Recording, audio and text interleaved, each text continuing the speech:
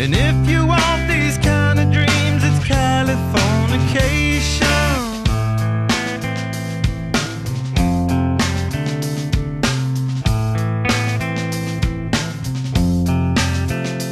It's the edge of the world in all of Western civilization.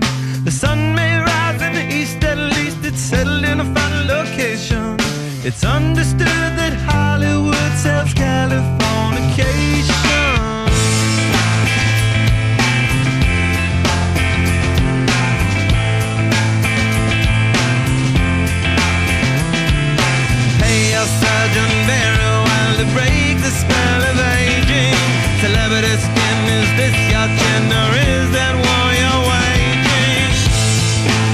Firstborn unicorn.